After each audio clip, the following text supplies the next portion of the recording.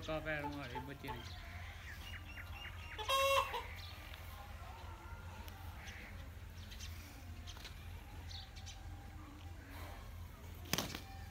Hãy subscribe cho kênh Ghiền Mì Gõ Để không bỏ lỡ những video hấp dẫn